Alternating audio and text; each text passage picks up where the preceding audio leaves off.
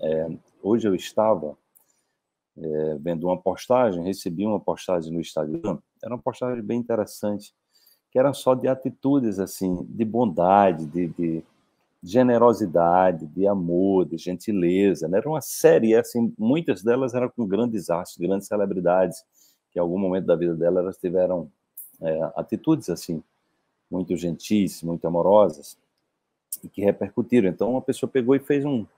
E aí eu, eu percebia como aquilo ali estava mobilizando uma energia dentro de mim, né? Essa, exatamente essa energia do amor. Essa energia, algo que você sente bem vendo as pessoas fazendo o bem, né? É, nesse momento que eu estava vendo isso, meu sistema imune deve ter feito, deve ter dado um salto, um salto quântico, né?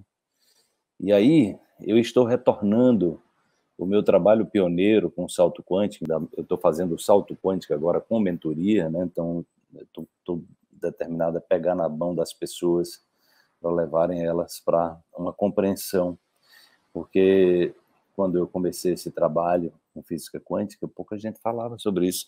Eu não tinha nem referenciais no Brasil, eu não sabia com quem. Eu, na verdade, eu não tinha nenhuma referência no Brasil de física quântica, né? Então, daí eu, eu puxei o carro, como se diz, né? É, eu fui um dos pioneiros mesmo nessa história, porque eu, não tinha referenciais, né? Eu não conhecia referenciais no Brasil que estavam mergulhados nessa temática, né? Então eu resolvi, né? É, resolvi trazer aquilo que eu estava vivendo, compartilhar com as pessoas, né? E aí, à medida que eu fui exatamente me aprofundando nesses assuntos, eu ia me encantando cada vez mais, porque eu ia exatamente pondo em prática os conhecimentos.